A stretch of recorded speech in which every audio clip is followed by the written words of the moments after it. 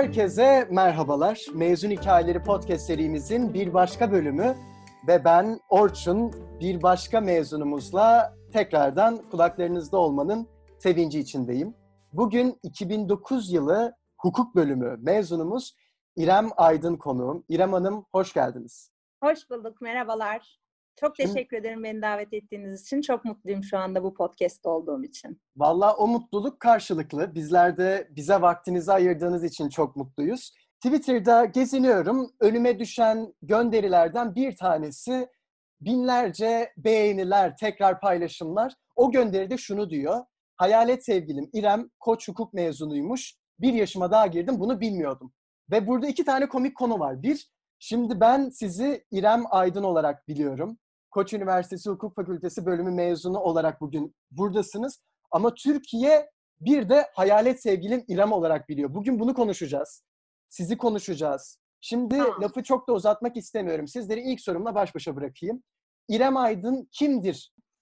Hayatım boyunca kendimi bildim bileli diyeyim en azından. Hep bir hukukçu olma hayalim. Tabii ki çocukken hukukçu demiyorduk ona, hakim diyorduk. Hakim olma hayalim vardı. E, hakim olabilmek için de herkesin bildiği gibi hukuk fakültesi okumuş olmak gerekiyor. Şimdi hukuk fakültesini e, kafaya koyduktan sonra lise civarında ki ben iki memurun çocuğu olarak e, acaba Bursa'da hukuk fakültesi açılır mı diye dua eden bir annenin kızıyken başka bir şehirde okumak durumunda olduğumu önce hazmeden bir aile haline geldik. Bursa'da bir Anadolu Lisesi'nde okuyorum. Öyle özel dersler, işte çok işte şu dershaneler falan filan gibi çok e, lükslerim de yoktu. E, o zaman bir dershaneden yüzde yüz burs kazanmıştım. E, işte onun verdiğiyle sağ olsunlar e, bir noktada bir yere kadar gelebildim. E, ama hayalim o kadar yüksek ki e, işte o zaman diyelim ki en yüksek puanla hangi üniversite alıyorsa Galatasaray hukuk atıyorum. 2004 yılından bahsediyoruz. Çünkü zaten hukukun daha Koç'ta ikinci ya da üçüncü yılıydı hatırlamıyorum. Çok yeni kurulmuştu. Yani hayal kurmayı bile akıl edemediğim bir üniversiteydi Koç. Çünkü zaten sadece devlet üniversitelerini düşünüyordum. Bir de tam bursla girebileceğim yerleri düşünüyordum.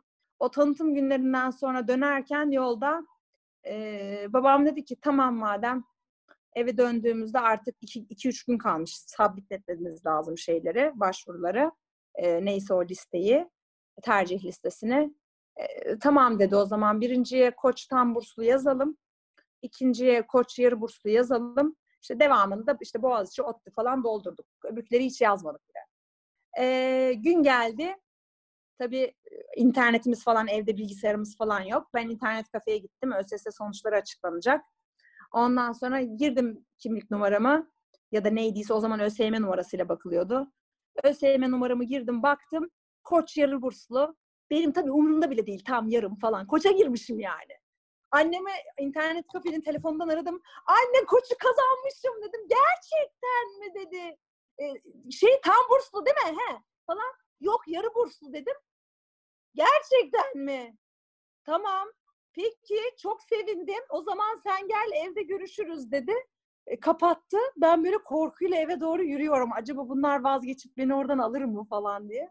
Neyse ben gidene kadar babam tabii annemi sakinleştirmiş. Ondan sonra ya biz bunu göze aldık. Gerekirse arabamızı satarız. Öznur'cum Clio'muzu satarız okuturuz ya falan diye böyle espri yapıyor.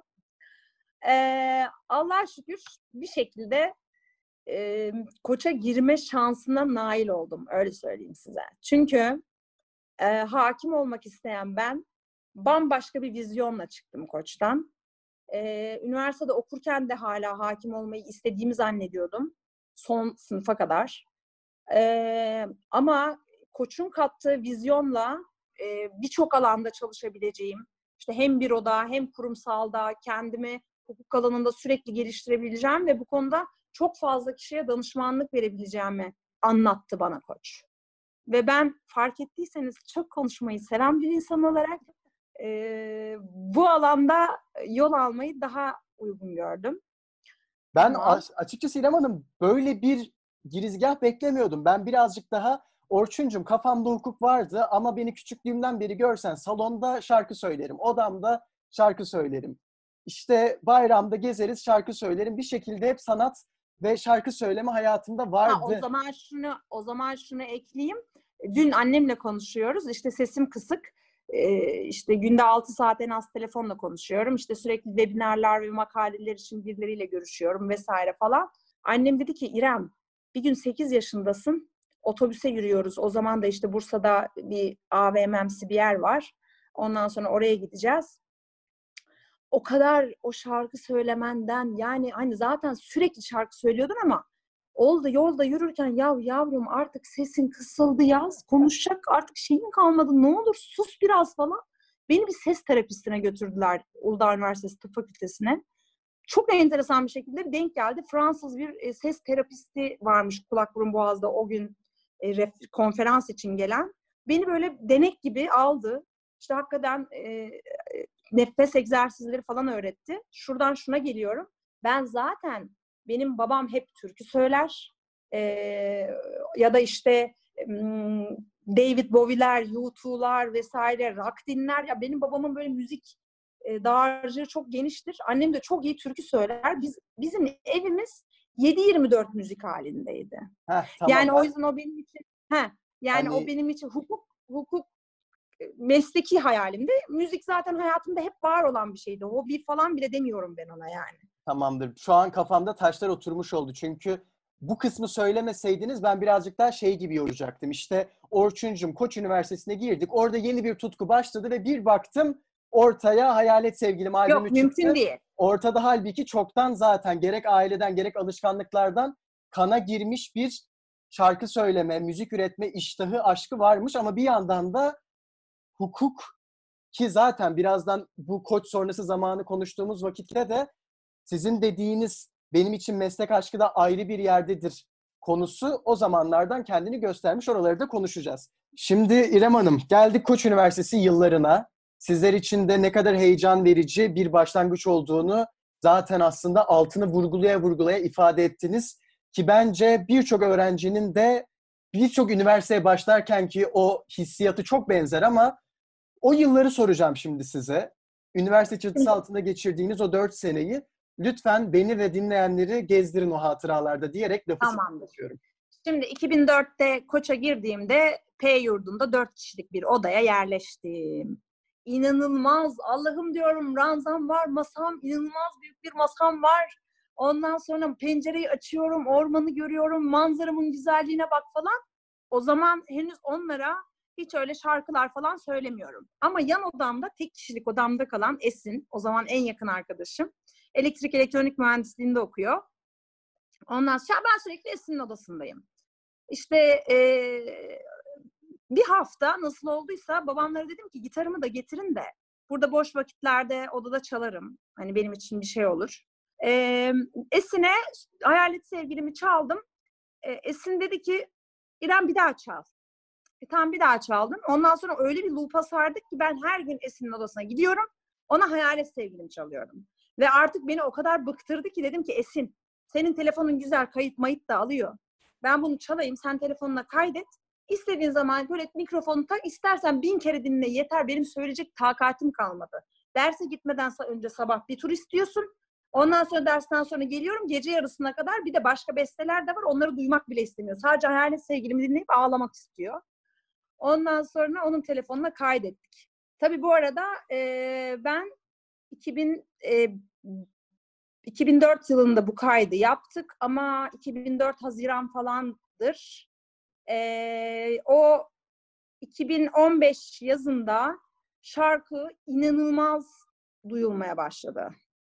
Çünkü düşün ki o bir sene içinde e, telefondan telefona, o zaman Bluetooth da yok, kızıl ötesiyle böyle birleştirilerek falan e, telefondan telefona, telefondan telefona yayılmak suretiyle yazın 2005 yılının yazında e, İzmir'de okuyan bir arkadaşım aradı beni dedi ki bizim kantinde senin şarkın çalıyor İrem. Benim 8 seneydi ya Andozisi. Ta ortaokuldan arkadaşım. Biliyor tabii benim bestem olduğunu. Ne şarkım çalıyor ya dedim. Hayalet sevgilim var ya dedi o çalıyor. Ne demek dedim ya kim duymuş da almış çıkarmış saçmalama öyle bir şey olamaz. Vallahi dedi dur bak ben hoparlörün yanına gideyim sana dinleteyim. Hoparlörün yanına gitti bana dinletmek için şarkıyı. E bu benim sesim, benim çaldığım şey falan. Hemen biz Esin'le birden e, şeye tabii ben o zaman hukuk okuyorum ve birinci sınıfa geçmişim. Hazırlıkta irregular oldum. Ondan sonra e, 2005'te e, birinci sınıfım. Esin'le her siteye girip tek tek lütfen bu şarkıyı bu siteden kaldırır mısınız diye mail atıyoruz akşamları. E, bu şarkıyı lütfen bu listeden kaldırır mısınız? O zaman LimeWire var, indiriyor insanlar falan şarkıları. E, ben duyulmasını istemiyorum hiçbir şekilde. Çünkü niye? Hiç müzisyen olmak gibi bir hayalim yok. Tek hayalim ne? Hakim olmak. Ondan sonra ama işin ucu öyle bir kaçtı ki artık bir noktadan sonra böyle hiçbir siteden silmedikleri gibi her gün yeni bir site çıkıyor.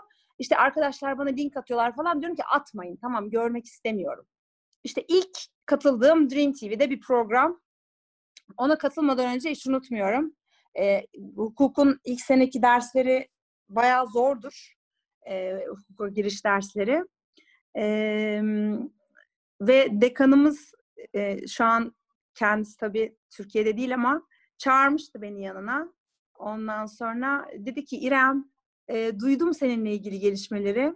Seninle gurur duyuyorum. Çünkü bir yandan işte e, kütüphanede çalışıyordum kitap bursu almak için falan bir şekilde geçinmek için elimden geleni yapıyorum. Ve her derse de giriyorum. Attendance'ım, participation'da hiçbir sıkıntı yok. E, dedi ki seninle gurur duyuyorum dedi. E, buna lütfen devam et dedi. Sen çünkü okulunu da müziği de beraber yapabilirsin dedi. Beni öyle bir cesaretlendirdi. Mükemmel bir üniversite hayatım oldu. Ee, hatta o zaman Cici'ydi. Cici'de otururken işte o öğrenci merkezi kafelerin olduğu yerde otururken e, böyle yan masadan birisi şey dediğini hatırlıyorum böyle. Abi bu muymuş hayalet sevgilimi söyleyen? Tipe bak abi kılığa bak kesinlikle olamaz ya falan. Çünkü e, Hayalet Sevgilim albümü o kadar dinlenmiş, o kadar telefondan telefona yayılmış, internetten o kadar çok indirilmiş. Üstüne bir de ben yapımcılardan sürekli telefon almışım. Ona hayır demişim, buna hayır demişim, onunla görüşmüşüm, bununla görüşmüşüm. Günün sonunda bir Avrupa Müzik'le, bir yapım şirketiyle anlaştım. Ve adamlara öyle bir Türkan Şoray kuralları sundum ki, işte magazinde çıkamam, e, vize ve final döneminde hiçbir programa katılamam, erkek arkadaşıyla şurada görüntülendi dedirtmem, alkollü mekanda çıkmam, kıyafetime karıştırmam falan gibi e, belirli kurallarım vardı. Adamlar da dediler ki haklı olarak e, biz nasıl para kazanacağız? E, o zaman e, albüm satışından sana işte şu tranche'a kadar sana e, para vermeyiz. Ben dedim ki tamam benim için önemli değil. Zaten benim için müzik hobi. E, ama e, sadece Koç'ta değil her yerde şöyle bir beklenti var. Her yerde hayalet Taksim'de yürüyorsun İstiklal Caddesi'nde her yerde hayalet sevgilim çalıyor. Ee, Adana'da bilmem neredesin hayalet sevgilim çalıyor. Yani bütün Türkiye'de çalıyor. Herkes beni trilyoner oldum zannediyor. Ha şöyle oldu. O yarı burslu e, öğretim şeyimi kendim ödeyebildim. Ondan sonra iki kişilik odaya geçebildim. Ondan sonra dedim ki Henry Ford'a geçeceğim. Henry Ford doluydu. Geçemedim Henry Ford'a. Ee, ondan sonra S yurdu açılmıştı o dönem. Dedim ki tamam olsun uzak uzak ama S yurdunda kalacağım. S yurduna geçeceğim. Ondan sonra e, ve o S yurdu işte o ortak alanda oynadığımız kağıtlar falan. Bu bence yine de bahsettiğiniz yani o vakitlerde düşündüğümüzde burada finansal zenginliği bir kenara bırakıyorum ki aktardığınız kendi okulunuzun ücretini ödeyebilme, yurtlarda sorumluluğu finansal olarak kendiniz alabilme bunlar kesinlikle bence çok mükemmel bir şeydi büyük yani. noktalar ki Aynen. şimdi burada da sosyal zenginliğe de parmak basacağım. Yani siz konuşurken düşünmeden duramıyorum. O zamanlar sosyal medya yok. Şu anki kadar teknolojinin, internetin paylaşımı, içeriği buradan çok çok daha ötesine götürebileceği Tabii. güçler yok. Facebook açılacak 2007'de. Ama Yani bunlara rağmen Hayalet Sevgilim albümü ve bir yandan da albümün içindeki bu Hayalet Sevgilim şarkısı Türkiye'deki bence o dönemler düşünüldüğünde 7'den 70'ine İstanbul'dan Van'ına bir şekilde herkesin sadece kulaklarına çalınmadı aynı zamanda üzüntülerine ortak oldu. Sevdalarına bir hikaye başlangıcı oldu ve insanlar orada farklı şeyler hissedebildi ki bu da bence onar yıllık aralarda çok az insana, çok az ürüne, çok az esere nasip olabilecek bir dönemdi ki sizlerin de o dönemine baktığımızda. Teşekkür ederim. ben şunu çok merakla bekliyorum İrem Hanım sizden cevap olarak. Şimdi üniversite yıllarının sonrasına doğru gideceğim. dediğim gibi aktardığınız hikaye ki dinleyenler de fark edecektir. Öyle her üniversite öğrencisinin başına gelebilecek, gelen bir hikaye değil. Ortada çok aslında farklı dokunuşlar var. Ve bunlardan bir tanesi de şu. O dönemde bile, o dönemdenin altını çizmek isterim. Yani sosyal çılgınlığın, medyanın yayılımının o kadar yüksek hiç bile olmadığı dönemde televizyonun en popüler programları, bunlar Okan Bayülgenler, Beyazıt Öztürkler, sizler öğrenci halinizle hem hukuk dersleri alırken bir yandan akşamları o programlarda eserinizi Heh. okuma fırsatı bulmuş zaten, zamanlardaydınız. Zaten evet şöyle söyleyeyim öyle geçeyim hukuk e, koç sonrası döneme. E, 2000 işte 6'da albüm çıkmadan önce o 2005'teki yayılma döneminden sonra 2005-2006 sezonu hukuk fakültesinin Eylül ayı girdim. E, dersler başladı falan. İşte bir teneffüsteyiz. Science Avlusu'nda oturuyoruz. Arkadaşlar şeyi konuşuyor. Abi duydunuz mu? Bir tane kızın bestesi çıktı İrem Hayalet sevgilim diye. Ondan sonra bu kızın sevgilisi ölmüş. Kız, şöyle, sevgilisi öldükten sonra kız onu bestelemiş. Sonra da intihar etmiş falan. Bizim arkadaşlar konuşuyor yani. Hep beraberiz böyle bizim bölümden. E, 6-7 kişi oturuyoruz. Ben de merakla dinliyorum. Ee dedim. Yanındaki biri bir şey daha söylüyor. Yanındaki biri bir şey daha söylüyor falan. Dedim ki o, o İrem benim dedim tamam mı? E, saçmalama dediler. Gerçekten benim ya diyorum. Ya saçmalama ya nasıl olabilir öyle bir şey falan. Ya niye olamasın abi İrem benim de istemişti dedim. Söyle o zaman dediler. Ders avlusunda hayalet sevgilimi söylüyorum. Gerçekten o falan. Herkes telefonundan işte kamerasından fotoğraf çekiyor. İşte videoya çekebilen kameralılar video alıyorlar falan. Ondan sonra e, düşünün ki kendi arkadaşlarıma bile zaten hiçbir zaman söylememiştim. E, devamında da mezun olana kadar e, dediğin gibi mesela Okan Bayülgen'in asistanı beni aradığında inanamıyordum mesela. Ben işte Okan Bey sizi programına davet ediyor dediğinde şey dedim. Yalnız ticaret hukuku finalim var. O yüzden bu, bu hafta katılamam. Bir iki hafta sonra yapalım çünkü haftaya da ceza var. O yüzden falan derken yani düşünsene okulla bir arada götürmeye çalışıyorum. Ee, ama benim için mükemmel bir tecrübe oldu. Hani olur ya okurken çalışmak falan. Ee, ama müzik camiasında maalesef iyi paralar kazanmak için daha aktif olmak gerekiyor. Daha çok konserler, daha çok programlara çıkmak gerekiyor vesaire. E tabii ben koçta okurken onları yapamadım. Ha bir kaybını gördüm mü? Asla görmedim. Koçun mezunu olmuş olmak zaten bana onun kat be katını e, kazandırdı diye düşünüyorum. Koç gerçekten takım olmayı da öğreten bir yer. Sosyal kulüpleriyle zorunlu girmek durumunda olduğumuz dönemler vardı mesela bilmiyorum hala var mı? Sosyal kulüpleriyle işte yarattığımız işte bir şey e, verilen projelerle sürekli bir proje yaratmak, sürekli bir işte beraber bir sunum hazırlamak, işte takımlaşmak vesaire koç için çok önemliydi. Ve ben gerçekten bir takım oyuncusu olmayı koçta öğrendim. Herhangi bir başka yerde değil. O yüzden iş hayatına çok net bir 5-0 önde başladığımı düşünüyorum. Henüz daha mezun olmadan önce iş teklifi aldım. İsmail Esin'le beraber hocamla e, ilk iş görüşmemi yaptığım zaman dedi ki ben hep şey diye düşünürdüm. Böyle koçta fanusta yetiştiriyorlar bu öğrencileri. Ondan sonra işte e, bu usul hukukudur, işte icradır, işte cezadır vesaire bu tarz cübbeli avukatların, işte dava avukatlarının bilmesi gerekenlerin hiçbirini bilmiyorlar. E, ve aslında onlar sadece kurumsal şirketlere danışman yetiştiriyorlar diye düşünüyordum dedi. E, ben dedim ki ben e, hangi hukuk fakültesinden mezun olan öğrenci neye hazır olarak yetiştirildiğini biliyor ki dedim. Bunu yaşarken göreceğiz. O zaman dedi benim seninle ilgili iki tane kaygım var. Bir tanesi albüm yapacağım deyip ayrılabilirsin. İkincisi dedi e, ofiste dedi böyle işte bu hakkaniyet güdüm ve biraz sesimi yüksek volümden kullanma e, şeyimi kendisi herhalde ön sezileriyle keşfetmiş olsa gerek. E, ofisteki arkadaşlarına tartışabilirsin, işte ortamı gerebilirsin dedi. Valla dedim birincisi asla olmaz da. Çünkü artık albüm yapma gibi bir derdim asla yok. Çünkü Türkiye'nin en iyi hukuk bürosuna gireceğim yani ne demek.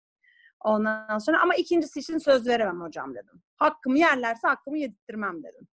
Bize dedim koş da bunu öğrettiler. Ondan sonra tamam dedi seni işe alıyorum helal olsun tebrik ederim. Ne zaman başlayayım? Yarın gel başla. E ben daha mezun olmadım. He öyle mi? Tamam mezun olunca başlarsın o zaman dedi. Finallerden sonra başladım. Dördüncü yılımda artık e, evlenmiştim eşimle, hamileydim. E, ve 38. haftada hala çalışmak için koşa koşa gelme diyorlardı bana. Ben yine de büroya gitmeye devam ediyordum. E, en sonunda dediler ki gelemezsin. Kanun gelme diyor. Doktor da öyle diyor. Tamam dedim. Ondan sonra e, Ela'yı bir yaşına kadar e, büyütürken bir yandan böyle freelance dışarıdan işte e, ona bir şeyler yetiştiriyorum. İşte tercüme yapıyorum arkadaşlarıma vesaire falan. Derken işte Sokar 5 yıllık bir firma Azeri, o iyi enerji şirketi falan beni çok inanılmaz cezbeden projeleriyle güzel bir şirketti. Başvurdum, kabul edildim. Girdim. Ee, ilk girdiğim gün önüme 250 milyonluk 250 milyon dolarlık bir e, M&A işi verdiler. Dediler ki sen M&A yapmışsın 4 sene al bunu yap. Şey biz takım olarak yapıyorduk falan derken e, kurumsal olarak saat 5'te çıkabileceğimi düşündüğüm ve sonra devamında yine 4 seneye yakın çalıştığım ve hiç 5'te çıkmadığım, gece 10'lara 11'lere kadar çalıştığım bir kurumsal hayatım oldu. Oradan da bu sebeple artık projeler bittikten sonra rahat batma noktasına geldiğimde ayrıldım.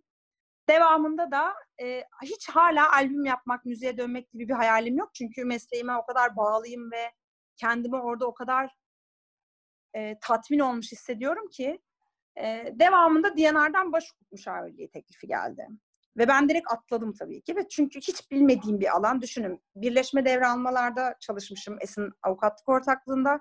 Sonra enerji sektöründe çalışmışım. Enerji, regülasyon, rekabet hukuku, işte e, aynı zamanda e, çıkacak her EPDK yani yönetmeliğini her şeyi takip etmek durumundayım. Ondan sonra hiç bilmediğim bir alandı. Ee, oradan sonra sıfırdan perakende diye bir şey çıktı yani. Perakende nedir? Perakende kanunu nedir? Sıfırdan başladığım bir yerde baş hukuk müşaviri olarak başladım. İşte bu da niye? Hem koç hem işte e, bir önceki iş tecrübelerim, tabii ki referanslarım, hocalarım, eski çalıştığım yerdeki e, üstlerim sağ olsunlar e, sayesinde inanılmaz mutlu hissettiğim bir, bir buçuk sene geçirdim orada. Bir sene geçirdim pardon. E, çünkü ben girdikten sonra bir şekilde DNR satış dönemine girdi ve Doğan bünyesinden e, başka bir bünyeye devredildi. Ondan sonra bu devir aşamasında çalıştım. Onun öncesinde sıfırdan, baştan yarattım diyebilirim Doğan'ı, DNR'ı. Ee, benim için o da ayrı bir mesleki tatmindi. Valla İrem Hanım öncelikle demin de dediğim gibi her etabında ayrı alınacak noktalar var. Heyecanlanacak başlıklar var, şaşırılacak noktalar var.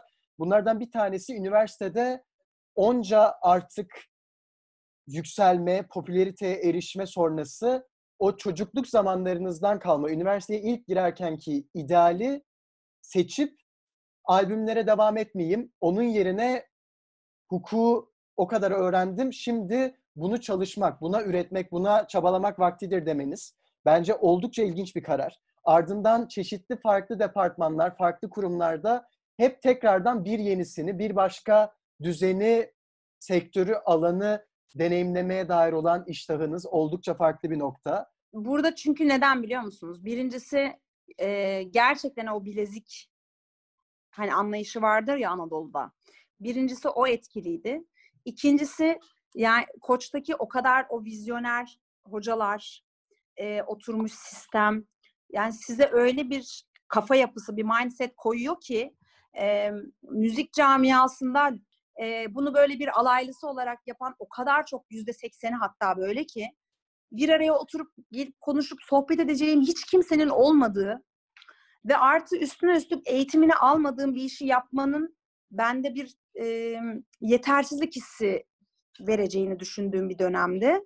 Sonra işte bu korona dünyası ortaya çıkınca bu kabus ve herkes aslında hayatının önceliklerini sorgulamaya başlayınca böyle bir dünyada dedim ki ya ben de beni gerçekten mutlu edecek müzik çünkü çocukluğum doğduğumdan beri hayatımda var olan bir şey ve çok seviyorum şarkı söylemeyi. Tek kaygım bileziği yok ya bende. Hani gitmedim ya konservatuara. Benim için o işin okulunu okumamış adam yetersizdir gibi böyle bir kafamda öyle eğitilmişim demek ki. Ee, onu kırdım. Ondan sonra e, her şey için mükemmel olmak zorunda değilsin anlayışına geldim. E, tanıdık bildik teknik bu hususlardan anlayan arkadaşları arayarak işte nasıl bir mikrofon alayım? E, işte kamerayı nasıl işte koyacağım? Telefonu işte böyle bir YouTuber ışığı var mı falan gibi. Sıradan böyle 3-5 bir şey yapayım derken işte Instagram'da canlı yayınlarla tekrar hatırlanır oldum demeyeyim de tam tersine hatırlanmanın da ötesine geçerek aslında beni hiç bilmeyen eskiden 2 yaşında, 3 yaşında olan ben albüm çıkardığımda 18-24 yaş kitlesinin yeni fark ettiği birisi oldum. Son sorum bu olacaktı. İyi ki ben sormadan siz aldınız. O son soruyu katmer katmer daha bir açtınız, götürdünüz.